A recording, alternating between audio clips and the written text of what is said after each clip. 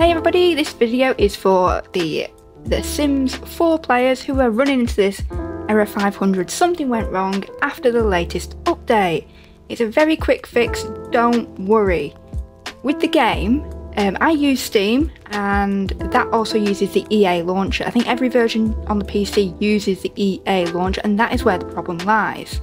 So what you need to do is go to the EA website, I'll put the link in the description, download the app for Windows and you download it. Just download it, don't delete anything off your machine.